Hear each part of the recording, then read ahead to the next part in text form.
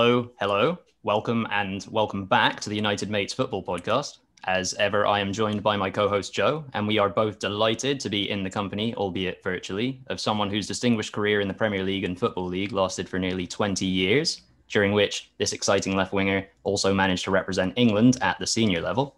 Since then, he's worked in coaching at the club where he first made a name for himself as a player and currently works as a presenter for Sky Sports, where you probably watched him watching football and reacting to it on the infamous Gillette Soccer Saturday show. He's also an ambassador for the Pitch DMM app, which has created a new community for passionate football fans to speak their mind and have their feelings shared with fellow fans, as well as players and coaches at the clubs themselves. We welcome John Salako to the United Mates Football Podcast. John, it's an absolute pleasure to have you with us. How are you doing today? Yeah, I'm very well, thank you. Thanks very much for having me on. Pleasure to be with you guys. Cheers.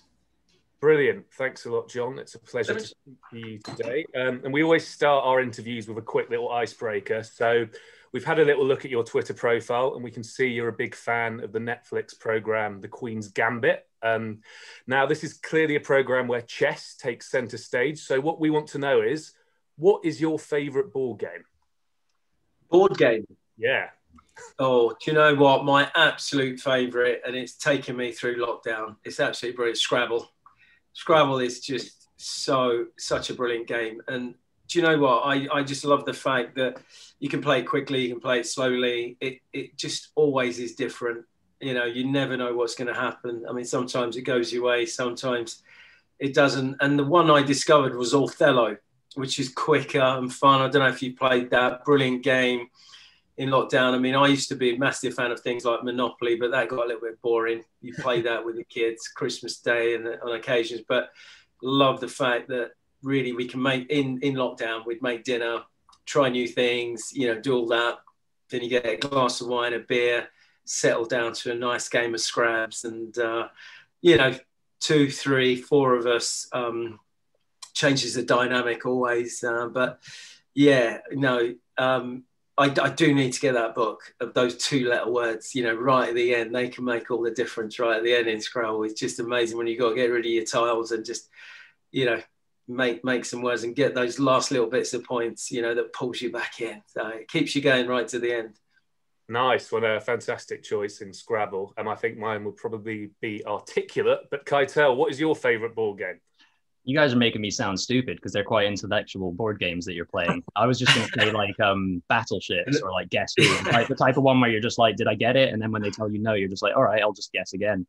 Um, yeah. Actually, I, am appreciating the love for Scrabble. I actually have a, a Scrabble tattoo below my oh, Arsenal wow, tattoo. Oh, yeah, so a, a, big Scrabble fan here. um, otherwise, yeah, let's let's move past um, some board games and onto a little bit of, of football. Um, so yeah, taking it back to the beginning, John where did your enthusiasm for the game come from? And what are some of your earliest footballing memories? I know i haven't really well we haven't mentioned it yet but you were born in in nigeria. So is that where your footballing story began? Yeah absolutely. So you know my dad did his um i think did his bachelor's degree in, in america and then came to do his, his master's in england. Met my mum um, and whisked her off to nigeria had five children and then unfortunately died in a car accident um, so my mum brought us back in 79. I think I had been about nine, 10 at the time. But obviously, I had three brothers and one sister. And, you know, the four, you know, we just used to play football all the time. I used to play with my older brothers and they always used to stick me in goal. And it's funny, I just saw someone send me a picture of I went in goal because I, I ended up used to, I used to go and goal in training. I used to mess around if there was myself Ian Wright, Mark Bright, and Andy Gray messing around. I go in goal, love going in goal. And funny enough, back when I was playing, you remember there was only three, two. They started off with two, one substitute, two substitute, then three. So it was a big decision to have a goalkeeper on the bench. And funny enough, we had a massive derby against Wimbledon at Selhurst Park. Um, crazy game. Vinnie Jones, you know, John Fashanu, John Scales, all those kind of guys. Scary as, you know, Lawrie Sanchez and all the boys. And um, Nigel Martyn got sent off and I had to go in goal most scariest experience of my life. The goal just looked massive. Vinnie, Vinnie Jones and John Fashanu, whose elbows were glistening like daggers, spears, big, you know, I was like, you know, good old Vinnie coming in, you're, you know, and that, that you know, and that was really scary. But um, just tell you a quick story, you know, so there was a massive rivalry. Wimbledon, crazy gang in their height. We are in that little tunnel at Selhurst Park. I don't know if you've seen it, but it's quite tight. And uh, our captain was Gareth Southgate, and Vinnie Jones was captain in Wimbledon. And I wasn't very far back, but I just he, he turned to Gareth, um, and he just looks at him and goes, "Oi, schoolboy, you're getting that, son." and I, promise you, no word of a lie. You see Gareth now, his nose is still he's still crook. You what you look at it, but 10, 15 minutes into the game, Gareth was getting stretched off. I mean, it was it was carnage. They were horrible. You know, Vinnie would come up to me for the game. Oh, he said, "Arco, you're going home in an ambulance." And I, you know, I'd try not to look scared. Yikes! He was horrible. He was horrible. But I'm hoping he's going to come to our charity game next week. So um, all will be forgotten. All will be forgiven. Once you cross that line, you got to get on with it. It's big boy, big boy games. Yeah, he's yeah. a wonderful personality of the game, and he's made made his way to Hollywood since. So yeah, we love yeah, him. He's done well, and he was he was rubbish as well. He, was he had a long throw, and he, he could he, he, he, could intimidate. But I suppose he was a better footballer than he was given credit for. But he, you know, he was horrible. He was We'll always have the the Gascoigne moment, at least. Huh? yeah, yeah, have, yeah. That, that photo is it's, yeah. it's a brilliant photo, isn't it? I'm not, you know, you're not surprised that Vinnie ended up in Hollywood and absolutely delighted. And um, you know, he's one of our own out there, and he's done he's done so well because he, you know, he's played that tough man, and you know, arguably he was, but um, you know, Vinnie, Vinnie's grown so much and developed, but you know, about carving a career for yourself. Uh, for anyone out there, you know, young aspiring actors, teenage, you know, sports guys you know, dare to dream and go and make it happen, and um, you know, give it your all, and and you know, just just be determined and be prepared to work hard and, and believe in yourselves, and it's incredible what you can achieve. Yeah, no, you're certainly right. And yeah, what a character Vinnie Jones is. Although I, I, don't envy you having played against him. That does sound pretty scary. But um, that whole side was scary. Yeah, no, they, they, they, were good as well. Dennis Wise was was the the most horrible, but he could play. You know, John Scales at the back. That's some had some good players as well. You know, they they did well, but they weren't just you know complete thugs, but they they were uh, they could play as well. Yeah, no, they certainly could play a bit. Um, but yeah, let's talk about um, Crystal Palace. So um, you got into the first team um, and then got promoted fairly quickly, and then there's obviously, mm. of course, there's the famous FA Cup final against Manchester United, and that you you you you were part of a team that had a lot of success. So what do you think in those early, early years at Palace? What was so special there um, that sort of made this team gel together and play so well? And um, do you have any regret about the fact that you just couldn't quite win that FA Cup final? Obviously, Wright had the amazing game and it looked like you were going to do it, but it didn't quite happen. So, yeah, what was so special about that Palace team? Do you know what was really special? And that's a great question in a sense where Stevie Coppell came, he was a young manager to retire at 28 and he came in. He brought in, you know, very experienced uh, number twos like David Kemp, like I think it was Alan Smith at the time. But what he did was his first job was to to get rid of the older players. It was a massive transition, and obviously Ron Noades brought him in and said, "Look, you go in there and you rip that apart and, and create something new." So what he did was people like Jim Cannon, who's played 600 games for the club, Mickey Droy, Steve Ketteridge, Alan Irvine, some you know those old guys um, that were playing um, were part of that squad disappeared. And what he did, he went scouting. And we had a wonderful scouting system at the time. People like Johnny Mack, some great scouts that God rest his soul, he just left us. Um, you know, when in scouted Dulwich Hamlets, you, you know, your Sutton Uniteds and, and, you know, working that is, you know, their magic in, in, in, in that non, non-league market. So we picked up people like Andy Gray, Ian Wright, you know, Mark Bright, who, you know, was in the Midlands, came came down, John Pemberton, Geoff Thomas came down from Crewe, Crewe Alexandra, because you know that connection with Dario Gradi. Obviously, he's you know very famous at producing players like David Platt and, and so many more. Um, and Richard Shaw and I and, and um, were coming through the, the, the youth system, and he just really brought us together, and it, it created an, an incredible mix. And, and I don't know if you remember, I, I went off on loan to Swansea, and Richard went to Hull and um, I was on Swan- I was at Swansea playing in the Cup Winners' Cup in, in Panathinaikos in the Olympic Stadium in Athens. And I, I, came down the day of that game, and the lads were all laughing. The Swansea lads, you know, the Chris Commons and the Andy Melvilles and the Andy Leggs, you know, were absolutely in, in, in tears. what's going on? I said, oh, Palace lost 9 0 last night at Liverpool. And was, are you joking? I thought they winded me up, but you looked at the back of the sun and it was like, wow, okay. And and that was a turning point, you know. And Steve brought me back on from loan, Richard back. We bought Eric Young, uh, Andy Thorne, and we we bought arguably the best goalkeeper I played with Nigel Martyn, one first million pound goalkeeper from Bristol Rovers, down in the in, in the um, the combine harvester country uh, we used to, Nigel was brilliant. He was just a threat. So, what you did, you had a dressing room full of young, fresh, hungry uh, players looking to carve out careers, looking, you know, really looking to make their mark on the game. So, it, it, it really came together. And what Stevie Coppell had, he, he, he never really coached. He didn't really get involved with that. And as I say, he had some good coaching, but he understood the game and he had a great philosophy. But the best thing he did, he could put round pegs in round holes and square pegs in square holes, which is so important. I know it sounds stupid. So we had, you know, everything was built for Wright and Bright. And, and you know, we had a young lad come from Stafford Rangers called Stan Collymore in the who couldn't even get in the team. Um, but what he did, he organised the team so well. We had a very simple philosophy. You know, Andy Gray and Thomas, two tough midfield, get it forward. We knew up, back and through, get it wide to myself and Eddie McGoldrick. Fullbacks would would stay in their sh- in, in their shade. The back four, you know, sit, you know, one would sit. It was days when you had two number eights. One would sit, one would go. Um, Andy Gray was mostly the guy who sat in front. Absolutely brilliant player, probably arguably the most talented out of the group. Um, but we we got it up there, so we would we would shut teams off. We would defend. We had to work hard. We had to be disciplined and organised. And you talk about that semi-final against Liverpool in you know where we just went man for man. I was marking Ray Houghton I went wherever he went. You know, in the cup final against Man United, I was marking Brian McClair. Um, wherever he went, Shoresy had Danny Wallace. You know, you had you had your jobs, you had your jo- jobs and roles, and and we we relied on set pieces.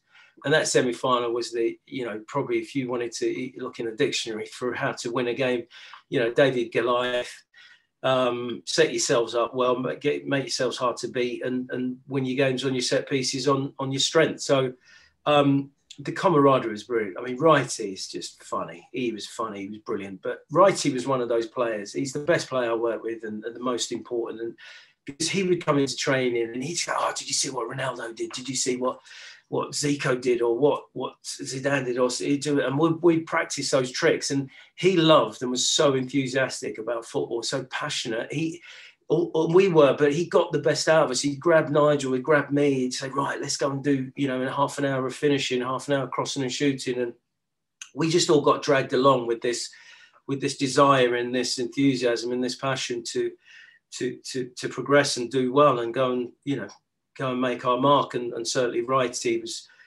you know, the pinnacle of that. And, and he just grew. He was, he was a diamond. And every time he polished him, he got shinier. and, uh, he was lucky enough, funny enough, George Graham came in for me to, to, to take me to Arsenal, uh, but they wouldn't sell me. Unfortunately, I think Graham Souness came as well at Liverpool, and uh, I do, oh, I do look back and think, oh, do you know what? If only, if only. And uh, but look, you know, it was a great squad. Um, they were very mentally strong. They were talented, very driven, and um, you know, we had Stevie Coppell there, who was the master genius. You know, he was very quiet, never lost his temper, never lost his rag but really that side just came together and, and the design, the strength of mind in that squad uh, was the driving force. It's interesting to hear that Arsenal were in for you. I think you, you can probably see the scarves behind me. We would have loved to have you at, at the club. Uh, oh. And um, I, I, was fortunate enough to actually see you play in Martin Keown's testimonial. Um, yeah. But uh, otherwise, another sort of random little link that we have is um, Joe and I, the school that we went to, uh, an ex teammate of yours ended up becoming a, a, soccer, football coach there, John Humphrey. Okay, yeah. Funnily enough, he became uh, deputy head then at Whitgift School, um, and he's yeah, uh, I think he went on to be a, a principal on in his own right somewhere. Yeah, so I mean that was one of the strangest things because my my my boy went to Whitgift, and I oh, yeah. remember when he was he, he, went to Whitgift, and we had to go to parents' evening, and um, John was one of his um, teachers, and I he just I couldn't keep a straight face. I was like, you know, it was John Humphrey, you know, sort of all that banter, all those years together in the dressing room and on, on the pitch. I mean, top, you know, great player, great lad. He was always very sensible, very intelligent, and uh, you know, didn't surprise me at all. And obviously, look, you know, back back in those days, players earned you know normal money and not life changing money like you do now. You know, it's like they win the lottery every time they sign contracts at 17, 18, let alone at, at 22, 24. So, um, you know, you go on and you progress in life and you move on and you find the next challenge. And, and there's so much more out there to life than um, football, unfortunately, or sports. But, you know, once you're in, you're in. I mean, we absolutely love it. We live and breathe it. And, um, but there is also lots of life out there. And, uh, yeah, Johnny's one of those people that's progressed and gone and done well after his career. Yeah, yeah, we uh, yeah definitely soft spot for John Humphrey, but um, also interesting to hear. You mentioned sort of how Steve Coppell came in and adopted a bit of a more youthful approach. It's it's good to know that that's something that's sort of stuck at Palace. Obviously, they produce the likes of what Routledge, Moses, Zaha, Wan Bissaka. They have an incredible um, mm. academy. I don't know if it's just their location in London that they're able to pick up so many passionate young kids who are playing playing football. But away from, I guess, some of the we talk, talked about some of the highlights uh, of, of, the time at Palace, but after that FA Cup final, you would get injured the following season, I believe, and then mm. um, miss a decent amount of games. And um, by the time you came back the next year, you guys ended up getting relegated from the, the Premier League. You helped them come straight back up, but then you guys again went went down. What was going on at the club when you were yo-yoing? Was it you know Mark Bright and Ian Wright got sold? Was it just a lack of quality on the pitch? Were there things going on behind the scenes? Yeah, that was an incredible time, really, because we we finished third in the top flight, the Premier League, um, and then we won the Zenith Data Systems final, beat Everton three one. You know, Everton finished ninth that year. We finished third, and you think you look at that side, and you thought that side can really go on to do things. And and funny enough, you know, Ian Wright, I can remember Ian Wright saying we need to strengthen, we need to buy players, and he went to Ron Noades and Stevie Coppell and sort of said, well, look, if you bring in two or three or four you know, big names and strengthen this squad, then I'm happy to, to carry on on this journey. But, you know, I'm beginning to hear noises and I'm wanted elsewhere. So, you know, as Ron Noades and Stevie Cole kind of said, well, we haven't really got the money and we don't really think we need to change too much. Uh, and it was devastating. You know, I can remember the day Wrighty left. It was like it was like the day JFK got shot, or remember when someone, you know, hearing that Princess Di died, and you know, Wrighty leaving Palace was like, oh my God, you know, the world had ended. And it, it, it really sort of felt a bit like that. And we'd lost, you know, our talisman, you know, our linchpin. And um, it was just never the same after that. And, you know, that season I went into there, I, I got into the England squad over the summer. I'd gone to Australasia, you know, things were falling into place. I, you know, I had Lazio, no, sorry, Bari wanted to buy me. I was going to sit down and, and talk with them with the the, the day after and the, that day at night at Leeds, you know, at Selhurst Park when I sort of ruptured my uh, knee.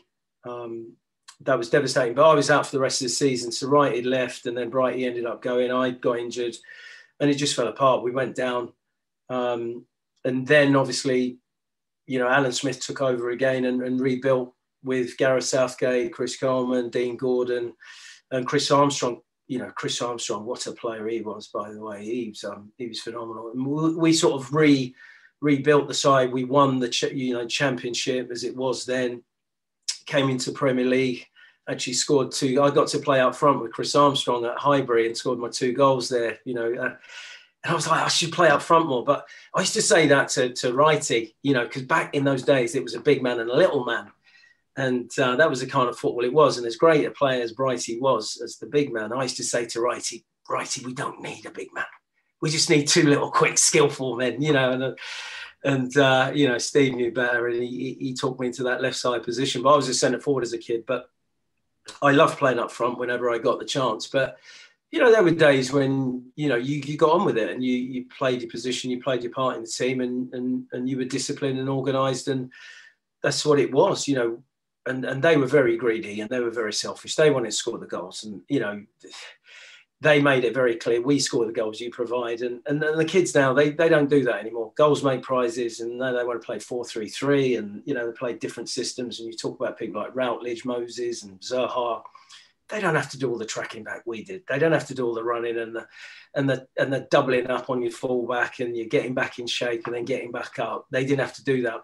And that's one of the biggest things Wrighty said to me when he moved to Arsenal, they used to say to him, Wrighty, don't you don't have to work. You don't have to come back. You just stay out there and score goals. We'll do the rest. And they were that good. And he said he absolutely loved it and he thrived. And of course, he did what he did best was just go up that end and score, score goals. Um, and you know, he was the top scorer till you know, the legend Thierry Henry, my favourite player in the whole world. Love him. Um, he came along and, and, and, destroyed it, but obviously had Dennis Bergkamp and people like Vieira to go with him. I'm a bit of a gooner, by the way. You might you might notice the Overmars and you know, but um, you know, it, it's changed. But you know, we we yo-yoed and then um, we went down again, which was devastating. And I ended up leaving and going to Coventry back in '96. Um, just needed a fresh challenge, needed a new chapter we did well. I mean, under that Gareth Southgate side, I don't know if you remember, you know, we, we had Ray Houghton come in, um, Ray Wilkins came in, so we had a bit of experience mixed with that youth, and we ended up getting to the semi-final of both cups. Uh, and unfortunately, talk about you know when you watch the draw and you want, we got Liverpool in the League Cup and, and Man United in the FA Cup, and, and the FA Cup actually went against Man United went to a replay. We drew two two on the on the Saturday, and I think the replay was on the Thursday where there'd been a lot of bad blood between Palace and Man United after the Cantona incident. Oh yeah, he kicked that fan was playing that night as well, and uh, unfortunately, uh, you know, ended up one of the Palace fans ended up dying uh, that night.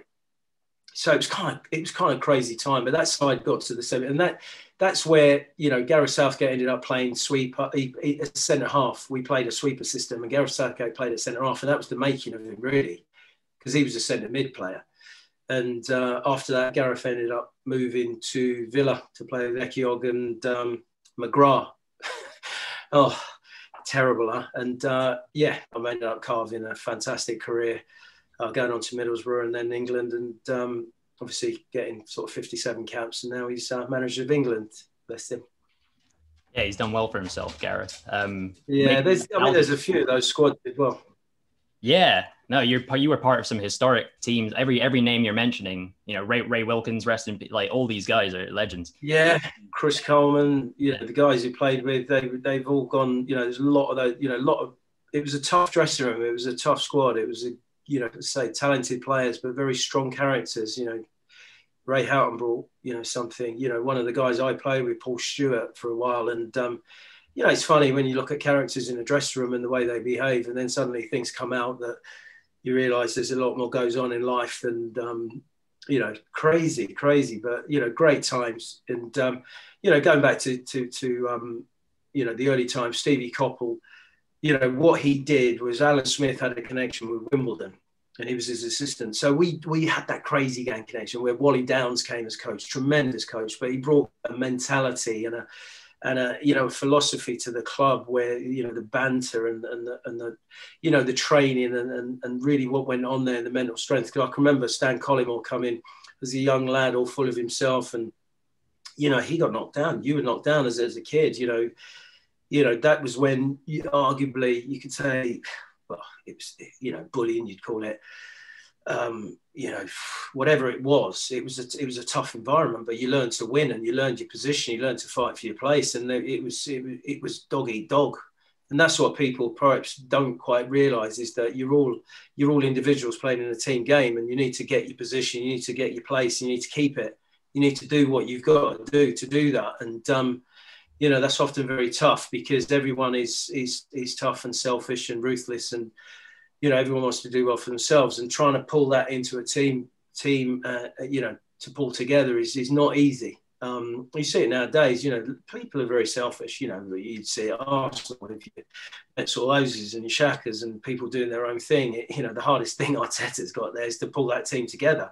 You know, whether you're Guardiola and you, if you if you don't have Aguero on your side, Jesus or Sane, and you know you don't you, you need your Kompanys, you need your Fernandinho's, you need your your proper team players, your captains who can boss that training ground, boss that dressing room, and keep the lads together.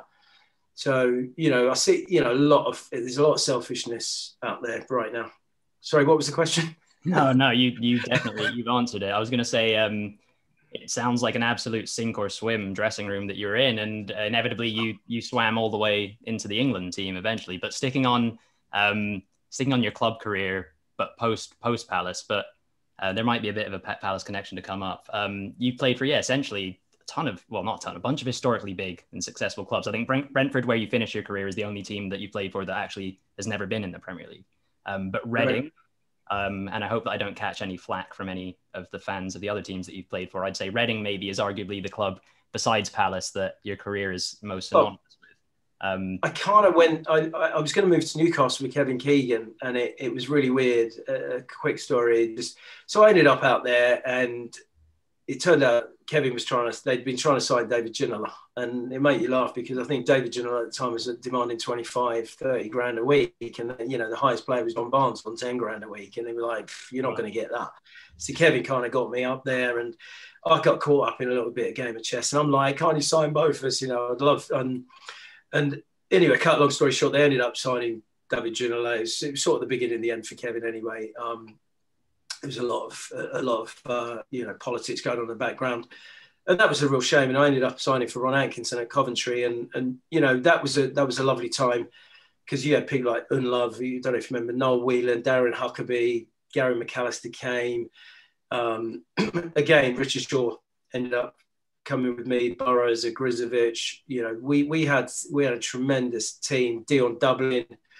Um, and you know we survived the three years we were there but for coventry you know highfield road was a great place to play a great set of fans enjoyed my time up there then i ended up going to fulham with kevin finally linked up with kevin keegan um, and again you know start of mohammed al fayed you know building fulham paul bracewell was there peter beardsley came you know rufus brevett and we you know we we had a, a tremendous team um, and, and, did really well. And that team was always going to go up, and they had the money. And uh, you know, I ended up leaving and going to Charlton with Curbishley, and then ended up playing people like Scotty Parker, Konchesky, Richard Rufus, you know, um, Graham Stuart, and, and and some wonderful players, Shaun Bartlett up front, and and Hunt, Andy Hunt, who's tremendous. Um, and we got promoted. We won the we won the championship and came in and finished eighth in the in the Premier League wasn't getting enough games um, time, so I ended up going with Pardew to Reading. Um, at the time, he, he's number two as Martin Allen. And again, you know, Sir John Madejski was on a mission to try and to try and go on, and you know, you saw Kevin Doyle's um, and Andy um, Noel Hunt, and you know, who was there? Sidwell in midfield with Parkinson and, and people like that, Ibrahim Sonko and you know, Graeme Murty right and Nicky Shorey left back. And, and that was another fantastic dressing room. But I loved my time at Reading and that was really quite special. Lovely family club. Uh, we built some, I mean, Jamie Cureton and Martin Butler up front, you know, Jamie, oh, Nicky Forster. Um, great dressing room. I, I love that dressing room. Um, that was a very, that was a very nice, special time, and I still enjoy going back. Uh, obviously to Fulham, but Reading's always, always special to go back there, and it's great to see them doing so well. And I know they started really well this year, dropping off, but it'd be it'd be wonderful to see them bounce back into the Prem. Oh. And then, I'm sorry, I missed out my last year with Matt, Martin Allen, Mad Dog at, at, Brentford. That was a that was a. Sticking on Reading, you'd mentioned um, Steve Coppell being reunited. You mentioned um, Alan Pardew as well. You know, an ex-teammate and an ex-manager that you ended up playing for over there. Did you find that, given that that's quite a unique dynamic, I guess, to play for an ex-teammate and you know the same ex-manager did that put more pressure on you to sort of not let your mates down or were you did they give you a bit more leeway because you guys knew each other so personally for so long mm-hmm. yeah it was interesting with with, with alan parts um, because he came at a time and i was playing in the premier league and you know what he could offer me was less than what i was on and i wasn't really prepared to go down. So i went there on loan. And it's actually an interesting, you know it's a funny story because you know sort of Pards pulled me and he, he said oh look we want you to come to Reading on loan. And I was thinking oh well look I'm playing in the Premier League. You're in League One. Um, Curbs will probably not let me go anyway. Do you know what? We're doing really well and it, it's, it's all going very well. So I went in and we just played a, a reserve game at at, um, at the Valley and Curbs was there and he was still there so I went back in and I said oh you know Gaffer can I have a word and I said oh look Reading are interested in me coming on loan and thinking, Curbs would go, no, don't be stupid. You're not going anywhere on loan. You, you, you're a valuable part of my squad. And he just turned around to me and went, yeah, brilliant. No, go. Yeah, yeah, go and go and get some games. And I was like, I was just stunned. I was like, okay, right then. So went back outside and said, yeah, let's have a chat tomorrow. And then, you know, I was off my way into realize how ruthless and cutthroat it was. It was like, oh, okay, well, okay, wow. Oh. Right. So, um, yeah, jog on, Sal. So, um, yeah, it worked out. Yeah, yeah. Do you know you got to make it work? And in my own mind, it, it, was it was time for me to play games anyway. And um, you know, I went there and really enjoyed it. Great stadium, so great bunch of boys, and um, you know, League One, we, we we came second to Brighton that year. That you know, Bobby Zamora was was scoring stupid amounts of goals at Brighton. They finished top. Uh, so we went up and we went into the championship and we held our own and did well. And it just, you know, it was it, it was just a it was an ongoing, you know, upward trajectory for for Reading at the time as, as it as it was when I was at Fulham. You know, and I was you know it was a good time to be part of that. Um, so so yeah, very proud and to be to being part of that and be part of that special journey taking it forward. Brilliant. Well, you know, potentially Brentford and Reading could go up. So what a great year that would be for you if that happened. But um, very quickly, just on your um, post um, playing career, you obviously um, have coached at Palace, both the youth levels and at the first team level. And actually, it's appropriate in the background. I can see looks like um, soccer specials on. But you've, of course, we've watched you a lot on um, soccer special as well when you've been reporting on matches. So, out of punditry and coaching, is there one that you prefer, or do you like both aspects of those two things you've kind of done post career? Yeah, that's a great question. Is in a sense where when I got injured uh, at 22, um, I started doing my coaching badges. I did my my coaching badge at the time, and and I started doing television so you know you start thinking about life after football you know sort of being told you might not play again you might not work out so you got to think about what you're going to do. So and you got to keep yourself occupied. So i started doing both and i really enjoyed both and i was very lucky in a sense where um, you know the, the guys at sky david white who was head of sky and andy melvin were fantastic and they said look if the career doesn't work out we'd love to have you here. It'd be great to have you on board. And you know sky started in 19 to that merger of B Sky B and Sky, and it was the beginning of. I remember when you know it was beginning of cheerleaders, and we had the bright jackets, and you had the razzmatazz and the fireworks, and that that was you know that's where football changed you know it, it, that's where the money came in and it just sky just revolutionized um, the way we watched we, the way football was covered the way we we looked at it and it, it's never been the same and it's just grown year on year and you know scudamore just left you know took it from a you know from from a 1 billion pound industry to what it is now. I think it's a five, six billion pound industry that that is the best, you know, it's our biggest export in this country worldwide. You know, it's just a phenomenon. People love it. And eh, and Sky have been right at the heart of that. And and you know, I was there with Andy Gray, Richard Keys, and I was presenting goals on Sunday with Anna Walker. And you know, it was it was it was an incredible but I wanted to play and I went back to playing. And then when I came out, I remember ringing, ringing Andy Melvin, just saying, "Look, I've had enough. Of these youngsters, I'm taking anti-inflams to train. You know, you, you, these kids are too strong. You know, I'm going to places like Chesterfield on a Saturday and getting absolute dogs abuse. I am just, you know, I'm like, I'm done. I'm done. So I rang Sky and got on board with, and, and I ended up, you know, with Jeff Stelling on on Soccer Saturday with the boys, and you know that that was a great experience. But you know, I, at the same time, I was sort of converting my old coaching badge to my UEFA A. That turned into a B. You have to go and, you know, so I'm sat at my UEFA A course with Sam Allardyce, you know, with some of the great players, Graham Souness, Gordon Strachan. Um, God, the list is endless. And, you know, I was quite amazed that they didn't, you know, we, we hadn't taken it that seriously and made it, you know, a must to have all your coaching badges where I think Spain, France, Italy, Germany, you do have to have your badges to work. Um, so having done both and then obviously having the opportunity you know i applied for a lot of jobs um, uh, over the years.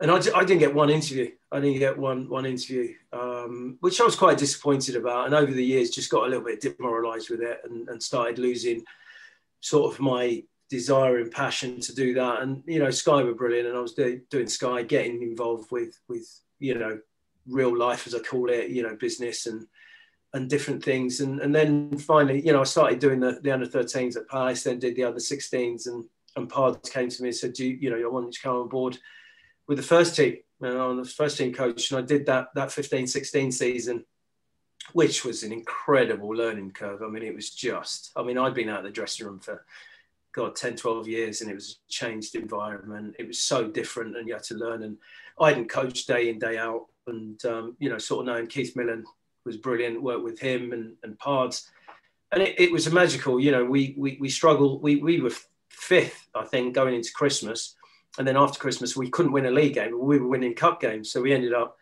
Luckily, we, we survived and we got to the cup final against Man United, which was Van Gaal's last game um, and we, I just thought the writing was on. You know, I thought it was destined for us to get revenge for that 1990 loss. Um, and you know, master plan was working. Puncheon scored 74th minute. You know, and then of course Pards does that jig, which I blame him for, and and then they they score two goals and win it. It's just devastating, devastating. But it, the experience of being Watford in the semi-finals and being part of that with the Palace fans was just so magical in the final.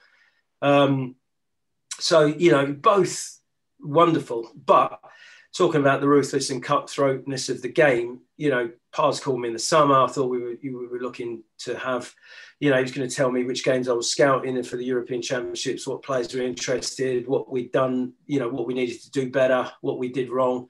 You know, just looking to, you know, really pumped and looking to go into that second season. And, you know, he called me to a breakfast meeting and said, look, um, you know, I've got different plans. I'm going to shake things up. It leaves you out of the in the cold a little bit, but I'm sure there's a role for you somewhere else. And and the talks didn't go that well, and I ended up leaving. You know, very demoralised and very downhearted that you know the way it worked out with my own club, really with the club I'd grown up with and, and, and spent so much time. But it's just the way the game is. It's it's ruthless. It's it's a it's a juggernaut that's moving, and everyone's under pressure. Everyone's got to make decisions. Everyone's got to win games. Um, so came out and, you know back into punditry and back into the TV, and I absolutely love love the punditry side. It, it's the it's the next best thing, and you know it's great. You can enjoy it. You embrace all the fans. You go to different grounds, even if they are singing. You're just a Chris Kamara. that always made me laugh. I just, you know, you get tremendous stick at Brighton, obviously, you know, but that, it was all in good, good humour. You know, you go to places like Millwall, and uh, around around the you know teams that fans that remember you you know for your Palace days. But you know, 99% of the clubs were absolutely fantastic. You know, loved going up to Everton, Liverpool, and all the big clubs. It, it, it was just wonderful. You know, travelling up there, seeing the fans and covering the game was was fantastic. And obviously, Jeff's made Gillette Soccer into just something so magical and wonderful. And and it was like a family working with all those guys. You know, sort of legends of the game, and they're all great, great guys, and and a, and a brilliant company to work for. And as I say, you know, again, part of that revolution of what Sky have made made the Premier League. So you, I can't say I'd love to coach. I mean, it's in your blood, but I always describe it as football is is an incredibly gorgeous, uh, voluptuous woman that I just love, but she treats me badly. I must let her go. I've got to let her go. I've got to get. I need to find myself just a nice girl that, you know, that treats me well yeah, sometimes I guess knowing when to to call it quits is is, is the hardest thing. But um, it's never, it's never gonna happen. Yeah, well, I guess that that leads. I was gonna I was gonna push you a little further. Yeah, have since um, Hodgson's been in in in sort of at the wheel at Palace, have you had any discussions? Not necessarily with him personally, but with the club about returning, even at the, uh, back in like the youth level where you're doing the under 16s. Yeah, no, not really. Um, and again, it's it's just the way the way it works. You know, I know that um, Richard Shaw, who I work with, was doing the under 18s. He was doing the under 23s um, with Ray, Dave, David Redders, and he's up coaching with the first team now. I know that, uh, uh, you know, Dougie Freedman's coming as um, director of football. Brighty's still look, looking after the, the, the uh, loan signings and the youth development. Paddy McCarthy's looking after the under 18s. And, you know, um, you know, there's there's various guys. So everyone brings in who who they like, who they know, who they want to work with. And you know, there's so many names. It's it's a very crowded room and it's a crowded place. Everyone's clamoring for those jobs, and they're so hard to get hold of and so hard to keep hold of. So you know, in a way, you know, when I came out, I just thought, you know what, that's something I've got to leave alone. I've got to stop calling that girl. I've just got, got to got to got to move on and and yeah, I mean, I'd love to, you know, love to be involved. Just love it. And it's in your blood. It's something that's very, um, something you just can't change. Um, and it, it, you know, we all know it. You, you, you know it as fans, and we all miss it desperately because we can't watch it, and it isn't the same game that we love and that we that we know. Hopefully, we'll come back, and we'll be back with full stadia very soon, and, and the game back as we know it. So it's that camaraderie you know, of course, there is that tribalism that goes with football. That's that's and, and and all the different stories. You know, VAR coming out. You know, the Black Lives movements, the different things that have come out of this year. You know, just been incredibly historic year when it 2021 of, of what's happened, the world stopping, sport stopping, you know, everything that's changed. But, you know, what you desperately hope is that we've all learned so much, we've all changed, and we're all going to be better people, you know, going into 2022. Yeah, I guess the only constant is that Arsenal are just not not very good these days. oh, do you know what? High hopes won the you know won the community you know the, the community shield, won the FA Cup, and you're thinking right, Arteta's the man. But you know, just Arsenal have never invested at the right time, never never really shored up that spine, and never replaced the Galacticos. Um, you know, just just you know, I thought Leno was going to be a superstar in goal. He's not proven to be. You know, yeah, he's no Jens What you hoped for, but he can get better. He's only a young lad, and uh, Torreira, you hoping would shore up that in front of the defence, and just not enough creativity in the centre mid. And you know, unfortunately, Aubameyang is there, but you know, there's not enough fight. Lacazette's okay. You know, you look around, Xhaka and Elneny, and you know, Mesut's has been a massive disappointment, and he's been a cancer in the in the squad, really, to be honest. And uh, you know, it's just been difficult. You know, you, you sign people like David Luiz, and come on, come on. Yeah. Eight million. Like, oh, go and play in the centre. You're like, oh, where you going? But look, there's lots of good signings happening. There is beginning to be a nucleus. So Arteta needs time. And I think Arteta in the long run, what he's learned under Pep and he's very organised, very, you know, very focused. And um, I think tactically he's very astute as well. Very strong man, but he just needs time. He needs some serious backing now. And it's, it's going to take a little bit of time. And, and everyone's just bounced on, you know, your Wolves, your Leicesters, um, there's a lot of strong side, even Everton are strong now. So, you know, you look outside that that top six. It's you know, Man United should really bounce back in there. Man City going to bounce back in there. It's only going to be Arsenal that are going to be drifting. But I think to say they're going to be in any shape or form involved in a in a, in a relegation battle is just stupid. Be fine. We'll see, I guess. I, I, mean, I hope they are. As you, you probably see my Spurs behind me, but I'll just take Tottenham winning the league. Don't have to worry about can, it. Can, do you think you can win it this year? I'm starting to believe more. Yeah, yeah. I'm yeah. I'm trying to trying to stay calm, but yeah, obviously we've got Palace on the weekend, so hopefully we'll. Oh. And then um and then the big game is Liverpool at Anfield. I mean, if we get a win at Anfield, then I will definitely um, be believing. But I'm quietly confident. I think I'd say. Do you know what? It's brilliant to see Spurs back up there and firing. I I went a couple of times to that stadium, and wow, wow you know, as a bit of a gooner myself, I thought the Emirates was the best stadium in, in the world. But uh, all right, the Allianz Arena might have something to say. But the Emirates, but the the, the, the new Spurs Stadium is just taking it to a, to a ridiculous level. It's just outstanding. It's just so good.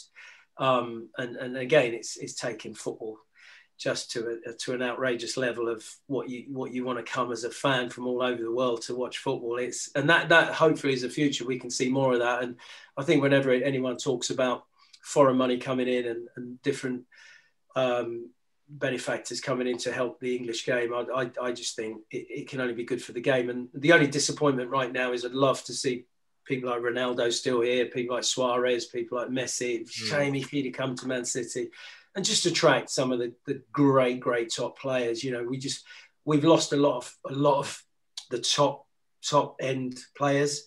Uh, it's great to see Bell back. Um, but what Spurs are doing is, is, is exceptional. You know, I love Jose. He lost he lost the plot for a while, got a little bit miserable.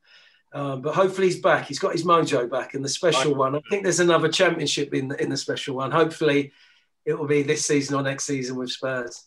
Oh, I'd love that. Love that I'm just looking forward to hopefully us beating Dundalk tomorrow. That's about as much as I can hope for. Yeah anyway, I guess that probably yeah is a, decent place for us to to leave it for today. Um, I want to say uh, you know big thanks to my co-host Joe, and then a uh, very special thank you to John Salako. Um, John, yeah, as my dog interrupts us right now, oh, it's been a lot of fun. Um, and uh, yeah, maybe maybe I'll uh, I was gonna say maybe I'll mute it and let let Joe um wrap it. Actually, I'm just gonna pick him up and bring him over. Oh, look at that! Yeah, just but it's been an absolute pleasure. Thanks for having me, guys. Enjoyed it, and um, you know, I know it'll go well. And good luck with it for the rest of the season. I'm going to tip a battle between Spurs, Man City, and uh, Liverpool for the title. I think Liverpool still just might have too much if they can get Van Dijk back, but maybe not. But they still look strong, and the mentality is good there. I think Pep's still got a few issues. I think the defence for Spurs might just be what lets you down in the end. But I'd love to see Spurs win it. Trust me, I'd love to see Spurs. It'd be brilliant. I love seeing different people win it, and Spurs winning it would um, would be special. Oh, it would be very special, John. well, for, for Joe, I suppose, yeah. And uh, I, am I'm sort of hoping for anything but Spurs. I'll, I'll take. But um, yeah, just before we let you jump so, off, John, um, how can our listeners follow you? And um, do you have anything sort of coming up in the end of 2020 or beginning of the new year that they can look forward to? Yeah, i have been doing a lot of work for a very special um, group called My Club Group. Um, so, I mean, if people want to go to myclubgroup.co.uk, to working with grassroots clubs, helping them gain grants, helping them to be more sustainable. And, you know, the mantra is survive and thrive. So, we're finding ways of keeping grassroots sports clubs alive and helping them go forward and hope that not too many of them go out of business. We're trying to arrange, um, we are arranging the first COVID safe football game um, at Chelmsford City on the 20th of December. And we've got Sam Allardyce managing the My Club group side and Harry Redknapp. And it's all for Mask Our Heroes, uh, which is a fantastic charity. They do a lot of work, PPE, a lot of work with the NHS and with the British Heart Foundation. Fabulous. They've got some wonderful ambassadors like Rio Ferdinand, Anton Ferdinand, Callum Best, um, and um, Jimmy Bullard. We're hoping are going to play in the game, which I think they should be. We've got some great names playing on our side. But if people want to go, it's going to be streamed live on social media. So if people want to go to myclubgroup.co.uk, have a look. If they want to pay, you know, I think it's fiver, and you can do, you know, a lot of it will go to Mask Our Heroes. Um, so it's going to be a lovely event. But it's actually the most important thing is trying to get fans back into sport, back to football, back into theatres safely. So it's going to be the first COVID safe football game out there, and it's hopefully going to be the template for getting fans back into sport and theatre safely going forward in 2022. Yeah, hoping that goes off without a hitch. It would be great if that could be yeah, sort of setting a new benchmark for yeah. standards of how to how to bring people back into stadiums safely and, and, and enjoy themselves. Um, so yeah, thanks again, John. Um, listeners, uh, if you enjoyed that and if you'd like to hear more of our interviews and episodes, please do follow us on Instagram, Twitter, and Facebook at United Mates FP. And then everything is also available on YouTube in video form just search for the United Mates Football Podcast. Until next time, everyone, take care of yourselves and take care of each other. Goodbye.